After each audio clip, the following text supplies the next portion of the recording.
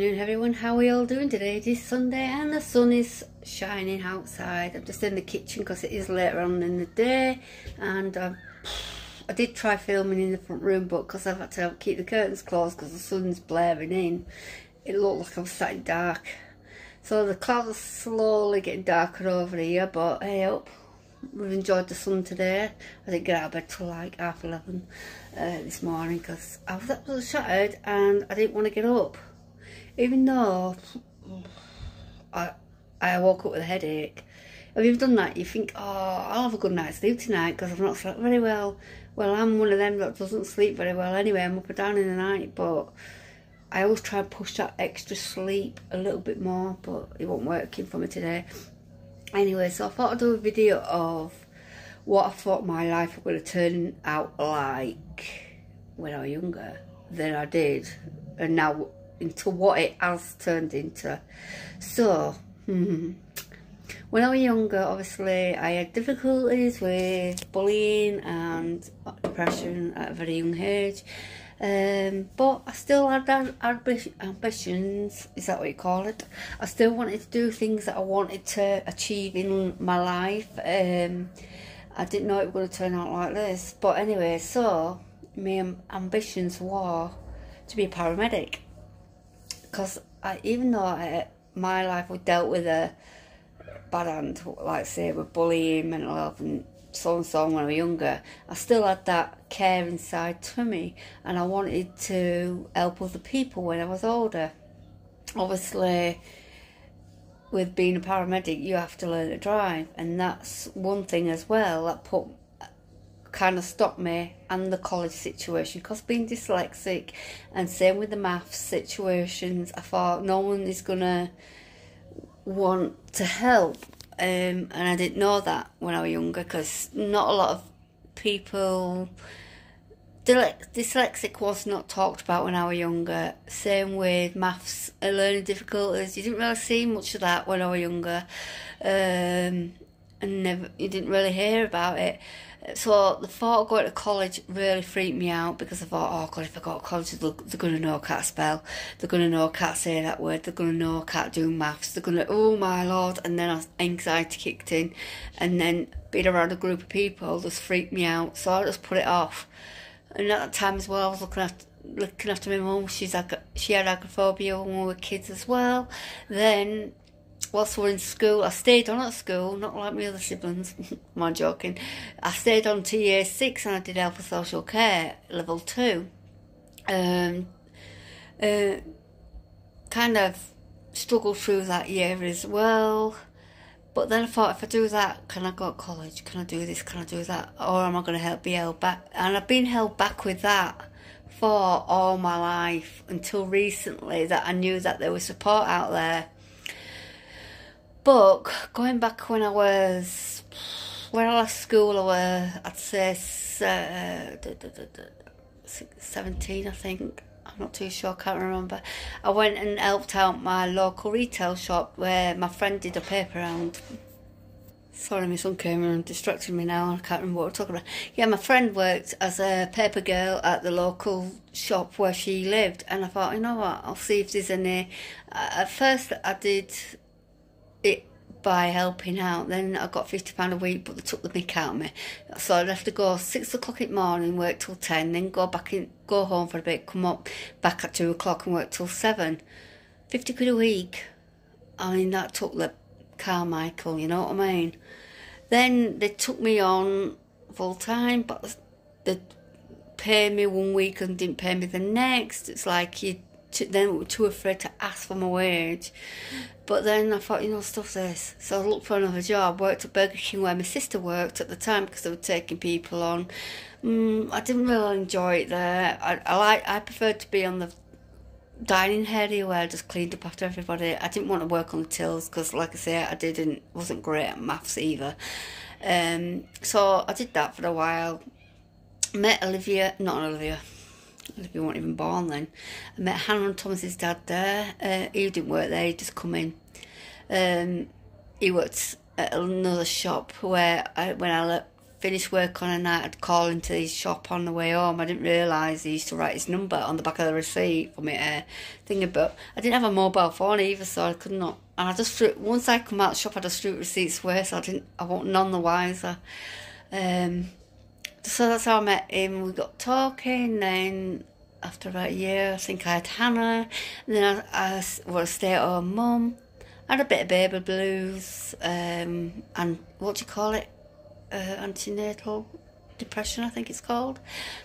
Um, then struggled with depression on and off all month, and then I started with like these pain, weird pains, mainly like chest pains. Like thinking about it now, I know what it was. It was the rib inflammation of the ribs, but back then I thought I had an heart attack. So I was in and out of hospital all the time.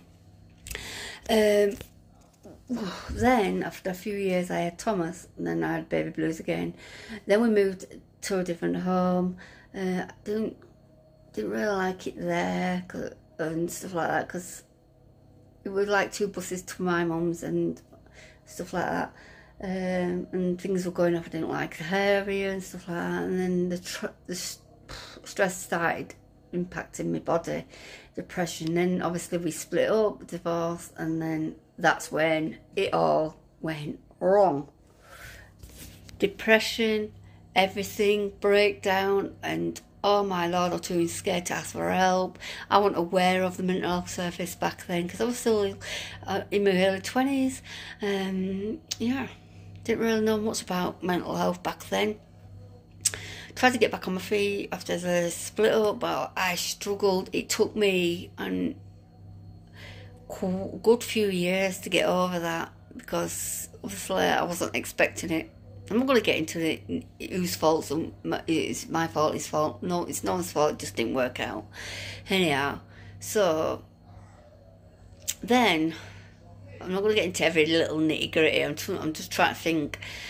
So uh, uh, there were a period of time where I was like a bit stable, okay, but the pains were still creeping in and I didn't know why these, why these pains were coming on. I just thought, oh, it's because I'm tired. The fatigue were killing me off. I'm not kidding. Once I dropped the kids off at school, I'd go and have a nap.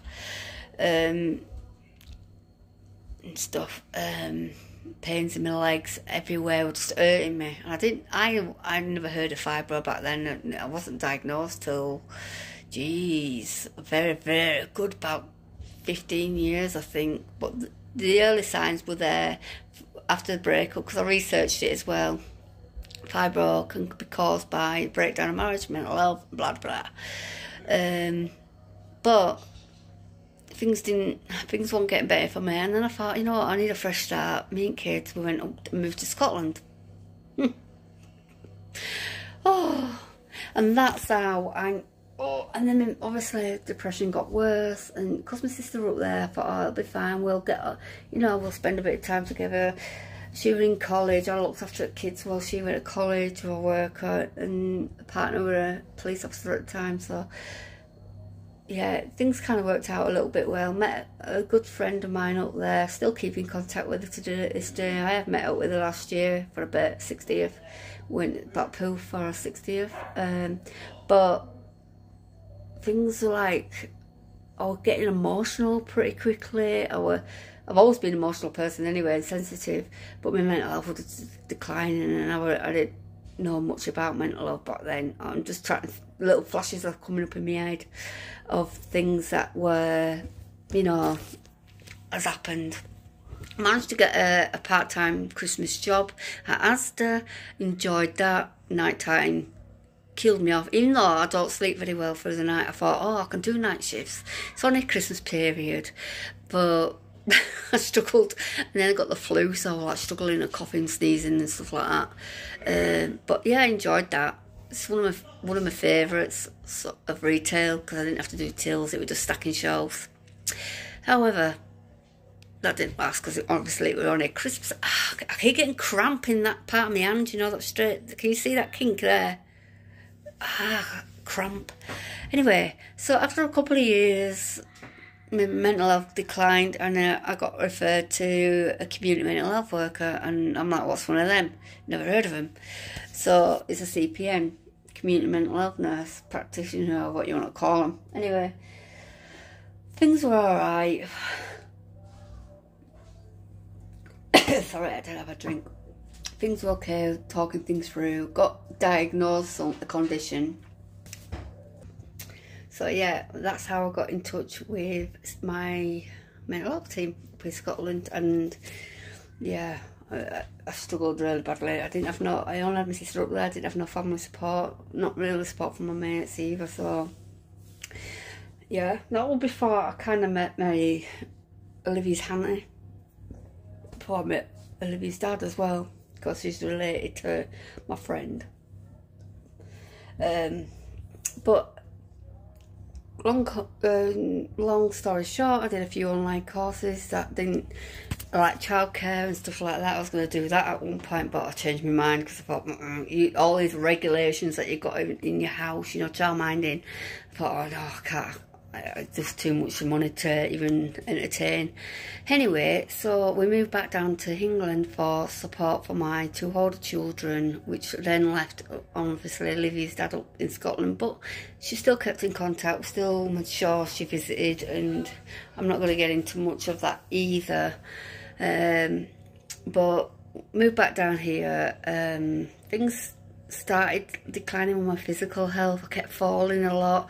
I was in really like this pain. I just couldn't describe it. The doctors were like sending me for x-rays, couldn't find out. And then one day I just my legs just went and I couldn't I couldn't fit I was like I couldn't walk and I had to ring my niece. I said I need some help. I, ain't got no money for a taxi. Can you get me to the doctors, please? Uh, they referred me to go for an x-ray, so I went for an x-ray, and that's how I found out I had a slip bulging disc. But I was then referred to someone, another consultant in Leeds, uh, for ongoing. I went for MRI, I think it was those big polaments or CT. I can't remember, but I, I I'm scared of them things. But long story short this is where I am now. So after over 10, 15, probably 10, 15 years, I think it's taken that long to get diagnosed. I got diagnosed about three years ago, I think it was. I can't, I'm trying to, no, I got diagnosed actually. Uh, I've been here five years, five years. So it's taken that long to get a diagnosis of. Oh, it's okay, it's just fibro. Here you go, leaflet, and there you go. There's not much we can do.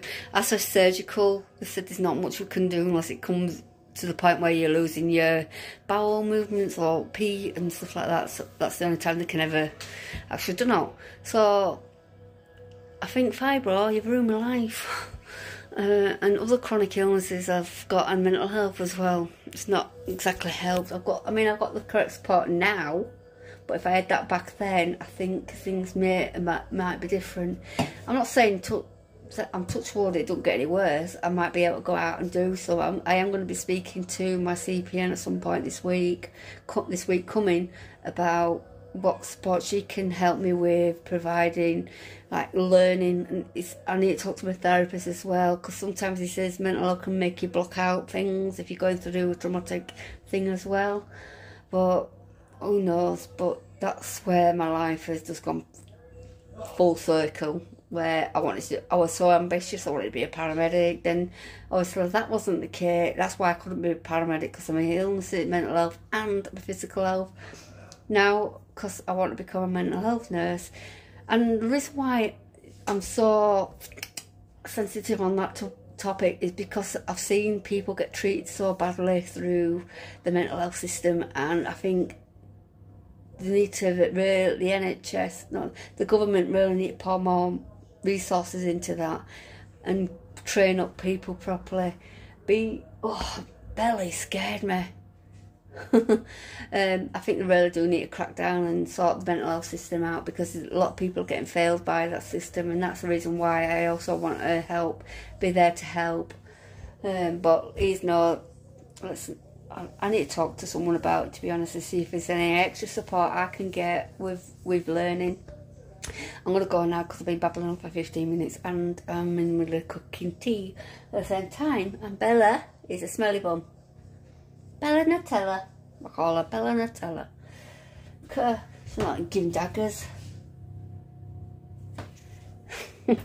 anyway guys, thanks again for watching and I hope you uh, enjoy the rest of the evening and enjoy the sun whilst we have it. How long we're going to get it, so I don't know what that face was about, but anyway, thanks again for watching and I'll catch up with you in the next video. Don't forget that hit that like button, subscribe if you haven't already, and press the notification bell and I'll see you soon. See you later. Bye bye.